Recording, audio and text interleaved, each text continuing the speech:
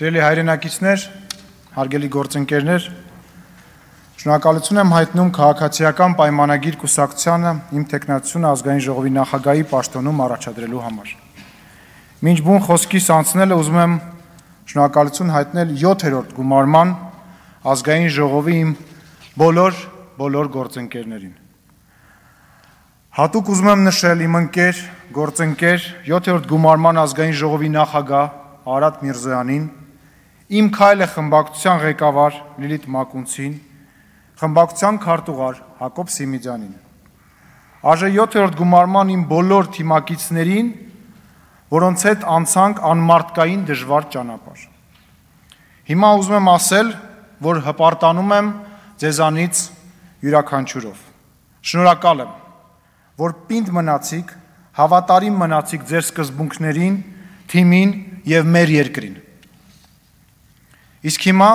իմ եւ ինձ թույլ կտամ նաեւ մեր բոլորի անունից առանձնահատուկ շնորհակալություն հայտնել Հայաստանի Հանրապետության հպարտ, ուժեղ եւ իմաստուն ժողովրդին, որն այս բարդ ժամանակահատվածում հերթական անգամ ազատ եւ թափանցիկ ընտրությունների միջոցով ձևավորեց Հայաստանի Հանրապետության 8-րդ գումարման ազգային ժողովը։ Ընտրությունների անցկացման բարձր որակը փաստեցին բոլոր միջազգային դիտորդական կազմակերպությունները,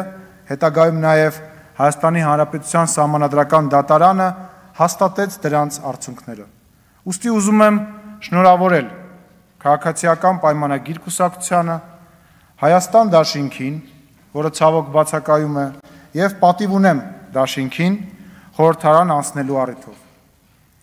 Հայաստանի Հանրապետությունը պարլամենտական երկիր է, իսկ ազգային ժողովը հայ ժողովրդի ներկայացչական մարմինն է եւ մենք բազմաթիվ անելիքներ ունենք միասին։ Մենք աշխատանքի ենք անցնում Հայաստանի եւ ողջ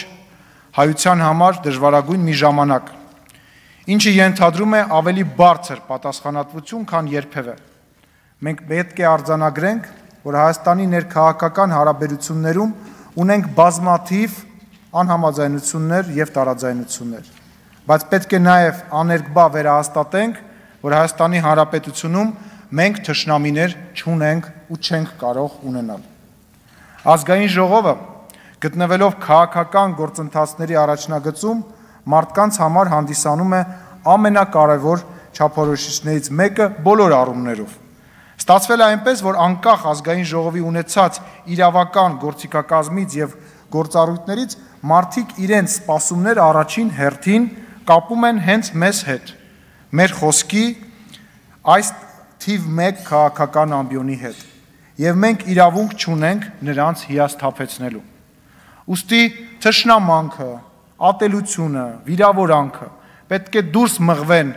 այս շենքից եւ ընդհանրապես մեր առօրյայից։ 2021 թվականի հունիսի 20-ին Հայաստանի Հանրապետության քաղաքացիները չեն գնացել ընտրատեղամաս, որ մենք այստեղ իրար ատենք կամ ամբյոնից ատելության խոսք տարածենք։ Բավական է։ Հայ ժողովուրդն առանց այդնել դժվար պատմական փուլ է անցնում։ Եվ ես բոլորիդ խնդրում եմ եւ հորդորում, որ անկախ այսօրվա քվեարկություններում գրանցված արդյունքներից վերափոխվենք հանուն Հայաստանի Հանրապետության, հանուն հայ մարդու։ Մենք բոլորս գիտենք, որ մեր երկրի անվտանգության առաջ անվտանգությունը առաջնային եւ կարեւորագույն խնդիրներից է եւ մենք չենք խոշում դրա մասին հաճախ խոսել, բայց հաճախ մոռանում ենք, որ մեր ասած յուրաքանչյուր խոսք իր արձագանքն է գտնում եւ գտնելու է մեր սահմանների ամբողջ երկայնքով։ Ոստի ցանկացած բան ասելիս, ցանկացած խոսք ասելիս Քաղաքական յուրաքանչյուր հայտարարություն եւ գործընթաց սկսելիս մենք պետք է այն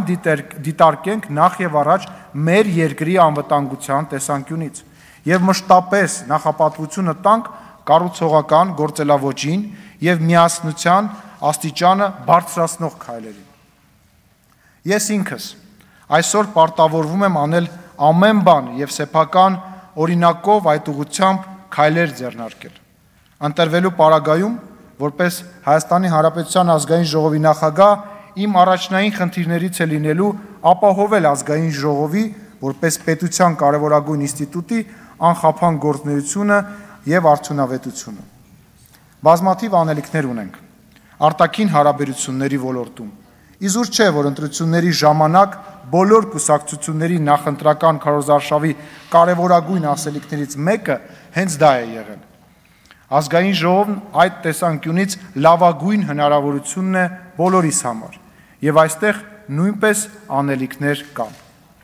Այս ընտրությունների շնորհիվ այժմ դահլիճում կան բազմաթիվ փորձառու փորձառու գործիչներ, թե իշխանության, թե ընդդիմության շարքերում։ Ոստի հրամայականը մեկն է՝ միասնաբար ծառայեցնել մեր ուժերը երկրի անվտանգության ապահովման համար, մեր միասնական շահերի սպասարկման համար։ Հաջորդ կարևորագույն անելիքը օրենսդրի գործունեության ապահովումն է։ Նոր իրավիճակը եւ արագ առաջ ընթացող աշխարհը մեզ պարտադրում են օրենսդրական արագ եւ անսխալ լուծումների գործելավոճ։ Ազգային ժողովի, այդ թվում մշտական հանձնաժողովների անխափան աշխատանքների ապահովումը եւ համագործակցությունը կարևորագույն հրամայական են այսօր։ Իսկ դա կրկին ու կրկին հնարավոր է միայն մեր համատեղ ջանքերի եւ պատրաստակամության պարագայում։ Այսօր մենք ունենք համատեղ աշխատանքի հնարավորություն։ 8-րդ գումարման ազգային ժողովի մեկնարկը յուրահատուկ զրոյական կետ է, որտեղ բոլորս մեր աշխատանքի ոչի եւ ապագա անելիքի տրամաբանության ձևավորման հիմքն ենք դնելու։ Ոչ մի անհնար բան մեզ համար չկա։ Պետք է միայն քաղաքական կամք եւ գիտակցում, որ մեր երկրի ապագան կերտում ենք հիմա։ Իմ քաղաքացիական պայմանագիր կուսակցության հիմնադիր անդամ, ինչպես նաև կուսակցության վարչության անդամ լինելը վստահեցնում եմ չի խոչընդոտելու արմատական տարբեր մոտեցումների արկայության պարագայում կազմակերպելու ներխորհրդարանական աշխատանքներն ու համագործակցությունը մեր ընդդիմադիր խմբակցությունների հետ, քանի որ Հայաստանի Հանրապետության հայ ժողովրդի համընդհանուր շահի գիտակցումը գերակա է եւ մեծ է նոր սկիզբ դնելու գիտակցումը։ Ընտրվելու պարագայում ես պատրաստ եմ եւ բաց եմ ձեզանից յուրաքանչյուրի հետ քննարկել ցանկացած հարց, ի նպաստ մեր պետության եւ ժողովրդի։ Ես պատրաստ եմ մոռանալ փոքր տարաձայնությունները հանուն մեծ նպատակների։ Ազգային ժողովի համատեղ աշխատանքի կազմակերպման գործում ես ունեմ ձեզանից յուրաքանչյուրի աջակցության եւ խորհրդի կարիքը։ Հավատացնում եմ, որ անկախ բոլոր տարաձայնություններից, տարբեր մոտեցումներից մեզանից յուրաքանչյուրն իր սրտում հավատում եմ, որ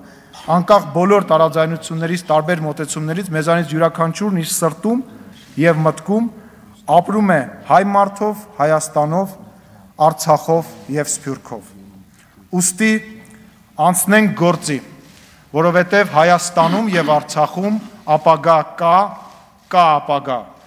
Աստված պահապան եւ օգնական մեզ եւ հայ ժողովրդին։ Շնորհակալություն։